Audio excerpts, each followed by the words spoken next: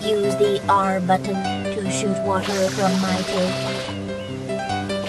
If you press the R button all the way down, you can Drink 5 Hour Energy. you can then use the control stick to Drink 5 Hour Energy. press the X button to Drink. you can then Do the duck walk. Cool, huh?